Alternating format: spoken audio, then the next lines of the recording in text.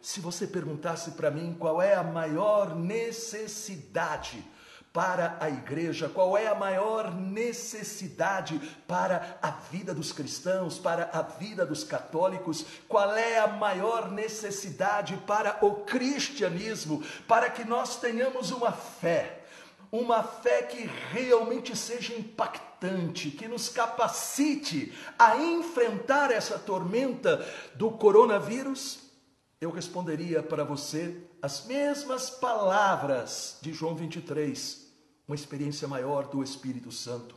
As mesmas palavras do Papa Paulo VI. A igreja necessita de um Pentecostes contínuo, um derramar do Espírito Santo contínuo, disse Paulo VI.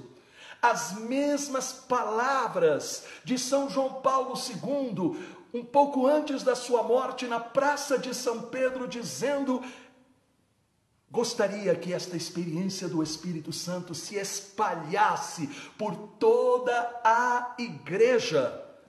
As mesmas palavras do querido Papa Emérito Bento XVI, dizendo que nós precisamos do batismo no Espírito, assim como o Papa Francisco pediu, levem o batismo no Espírito para toda a igreja.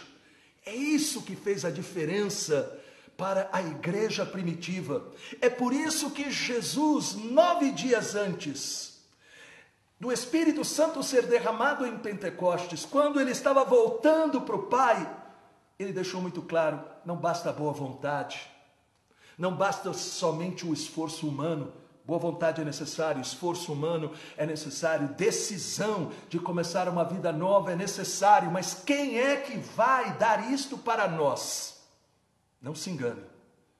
Segundo a Bíblia, é o Espírito Santo. Veja, Pedro, pescador, rude, João, haviam sido ameaçados, estavam ali, né, correndo perigo, mas o que é que nós vemos eles fazendo? Não reclamando, não fugindo. Eles podiam ser mortos, Podiam ser presos e depois mortos por causa daquilo que eles estavam ali pregando e eles estavam pregando aquilo que eles estavam vivendo. Mas eles não se sentiram ameaçados. Pelo contrário, eles sabiam que Deus estava com eles e esta experiência vinha da ação do Espírito Santo. Por isso, por isso, a oração que a gente vê aqui na primeira leitura, a comunidade primitiva fazendo, tem que ser a nossa oração. Agora, Senhor, olha a ameaça, nós poderíamos colocar do coronavírus e concede aos teus servos que anunciem corajosamente a palavra. Nós precisamos levar para esse mundo. Este mundo, alguns estão indiferentes como se nada estivesse acontecendo. Outros estão apavorados preocupados com razão, porque esse vírus é realmente algo muito grave, segundo os especialistas.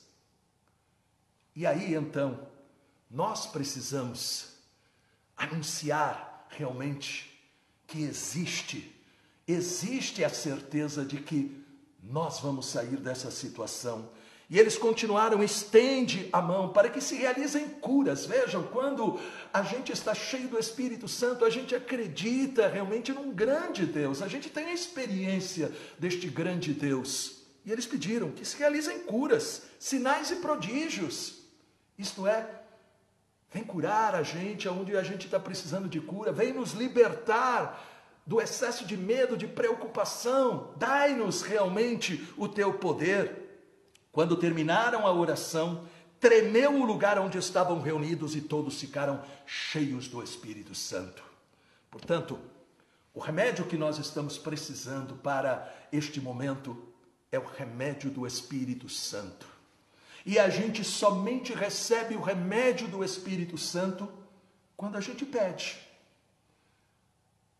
Jesus, quando foi falar do Pai Nosso lá no Evangelho de Lucas, ele termina lá a explicação dizendo: se vocês, quando o filho pede o peixe, dão, muito mais o Pai dará o Espírito Santo aos que pedirem. E não se trata de algo que você não tenha, porque o Espírito Santo habita em você. Veja o que a gente acaba perdendo. A gente fica correndo atrás das coisas, dos caminhos laterais, em vez de entrar na pista, na pista que leva direto. E essa pista que leva direto para o coração e derrama poder em nós é o Espírito Santo. O Espírito Santo.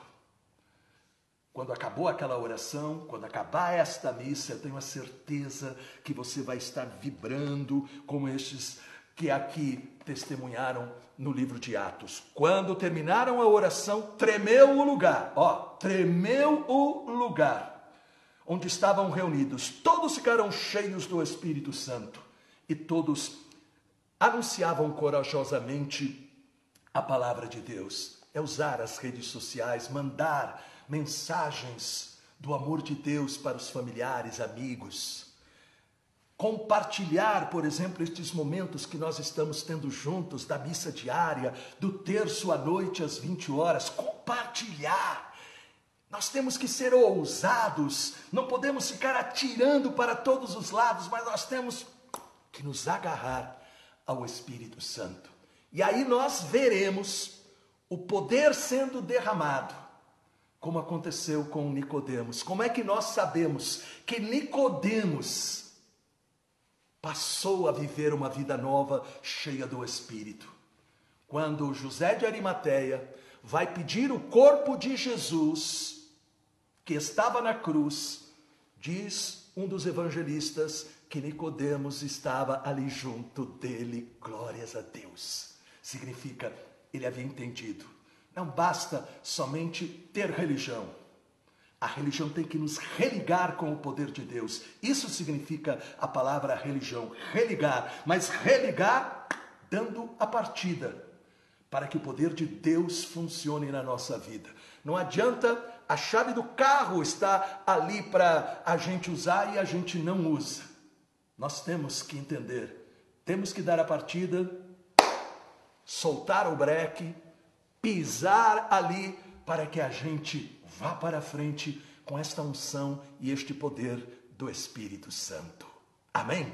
Isto fez a diferença na vida daqueles homens e mulheres, e isto trará para a tua vida força espiritual, consolo, certeza, certeza da presença de Jesus confiança de que Deus não falha. O Espírito Santo quando ele age, ele age para dar para nós este poder que Deus quer que a gente exercite.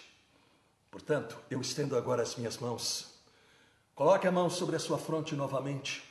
E eu peço, peço, ó Pai, que o Espírito Santo, que Jesus, Jesus disse que Nicodemos precisava nascer de novo, que o Espírito Santo que fez Nicodemos nascer de novo, que o Espírito Santo que estava ali com Pedro e João e aquela comunidade primitiva quando oraram e o teu poder foi derramado, que este Espírito Santo ele possa agora ser renovado. Coloque a mão no seu peito e eu oro para que no coração você acredite que o Espírito Santo agora está animando você, consolando você, curando você, libertando você e tirando esta sensação de vazio e de solidão para que você sinta que o Espírito Santo foi enviado para que nunca você se sinta sozinho. Confirma estes sinais, Senhor. Confirma estes prodígios com poder. Amém.